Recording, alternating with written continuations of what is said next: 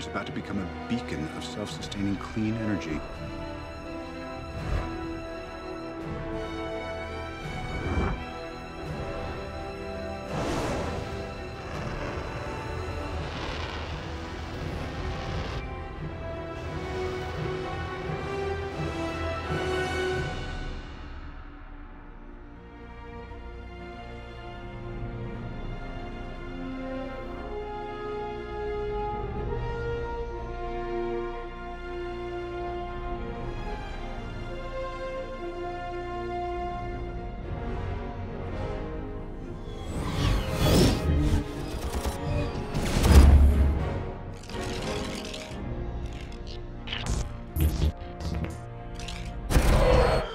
Now might be a really good time for you to get angry.